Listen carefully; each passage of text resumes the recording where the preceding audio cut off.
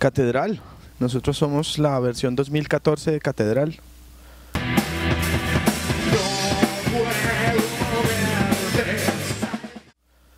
Una banda que nació en el 93 y que sacó su primer disco en el 94. Y ahora pues estamos cumpliendo 20 años de sacar el, el primer disco, nues- nuestro disco.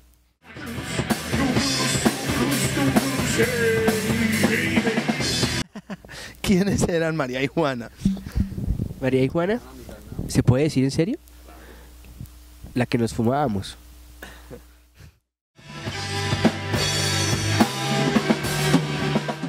de las redes rojas era como una sensación como de, las había como unas redes violentas de energía que te envolvían y que no te permitían hacer algo.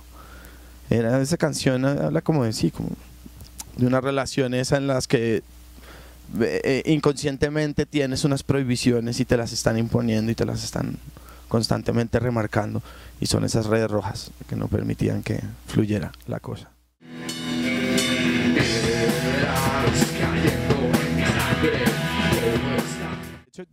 Lo bonito fue que se pudo convertir para una banda que tampoco tuvo tu- tuvo un impacto particular en ese momento en la escena, pero tampoco tuvo como el, una proyección más larga a través de los años ni, ni de, de pronto de haber salido muchas giras o lo que fuera, pues teníamos esa canción que salía cada semana, cada vez que el, programa se abría y cerraba y no sé qué. Y, y fue bonito que se convirtiera como en un símbolo de la, pues de la escena independiente y era es un orgullo. Había nervios, eh, había mucha motivación en el sentido de, oiga, funcionó una disquera grande, está interesada en unos pelados de 18 años, les parece chévere lo que estamos haciendo, pues hagámoslo. Y pues toda la historia de cómo se grabó el disco, pues es una historia muy, muy particular. Yo, yo, yo la, la comparo mucho, creo que es con el disco de Clash, El Sandinista, que llegaron sin nada y en 24 horas grabaron, una cosa así. Eso fue el disco de Catedral.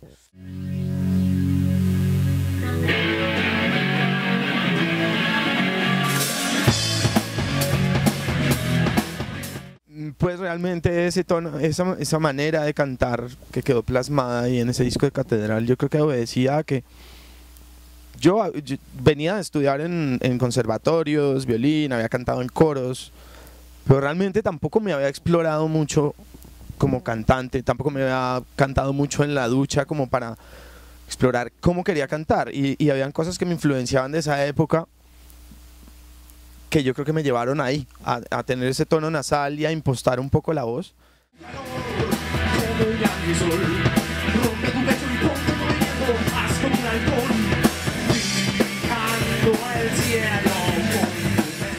De hecho, sí, a mí me llegó el grunge a través de cassettes que iba grabando de los amigos que iban a Estados Unidos y podían, podían comprarse los discos y ahí iba haciendo más o menos cultura. Pero bueno, yo, yo, yo creo que todos veníamos del metal Todos veníamos del metal y del, y del punk y, y luego terminamos en esto porque llamaba mucho la atención lo que estaban haciendo. eh, digamos, a las, que- a las cuales seguían en su momento, en los 90, que no- era el momento que se estaba gestando como el rock aquí en Colombia, ¿no? Y, y- y había, se sentía un poquito como que había una búsqueda permanente y que no llegaba del todo a, a sonar muy potente, ¿no?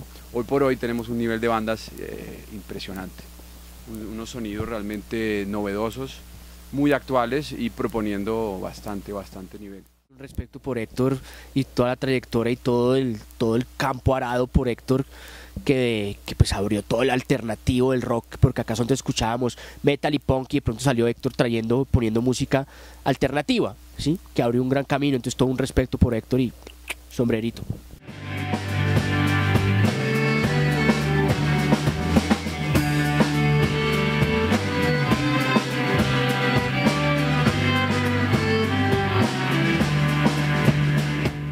Una historia más de cómo, digamos que la fuerza bruta sesga los, eh, manifestaciones creativas y la posibilidad de que, de que vivamos en un país en paz.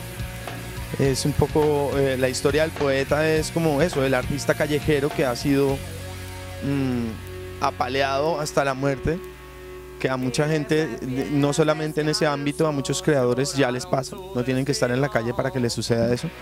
Entonces, pues creo que es como, como una manifestación clara de lo que pasa en este país.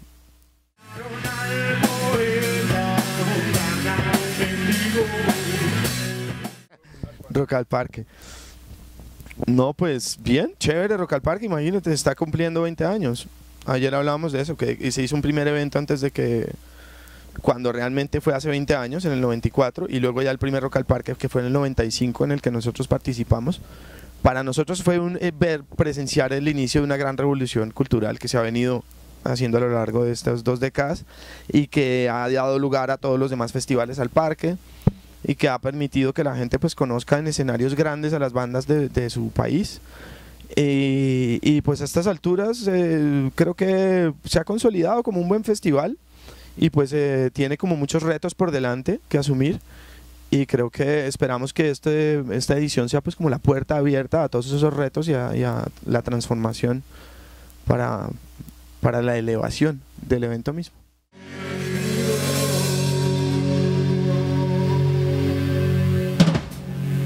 Bueno amigos que están viendo este video para la revista Sono, estamos en el programa Intrusos y nosotros somos Catedral, versión 2014, celebrando nuestros 20 años de vida y los 20 años de Rock al Parque. Toda la energía, nos veremos ahí el lunes 18 en Rock al Parque.